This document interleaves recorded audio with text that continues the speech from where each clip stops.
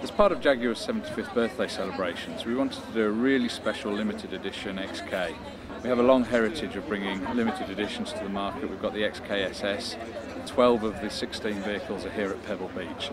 So we also wanted to do something with the modern car, and we've done the XKR 175. There's only 175 in the market, and the really special feature is that the top speed is increased to 174 miles an hour based off the XKR with a 510 horsepower engine, 0 to 60 in 4.6 seconds, and 461 foot-pounds of torque. So this is a really special vehicle, and to keep all that power, performance and top speed planted, we needed to make a number of aero modifications to the vehicle.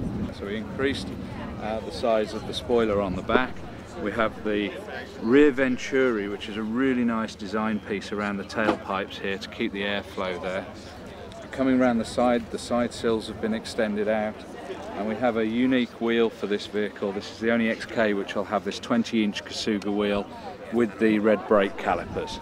On the front we also have a, a, a, splitter on the front end at the bottom of the bump so everything's lower on this vehicle. Um, and there's also a number of lovely tweaks on the inside.